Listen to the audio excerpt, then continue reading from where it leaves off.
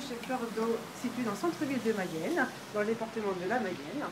Vous y découvrirez tout un choix de composition et de bouquets selon vos couleurs d'intérieur. Retrouvez nos prestations et nos promotions sur multidenfolie.com. Je vous dis à bientôt chez Fleur d'Eau à Mayenne.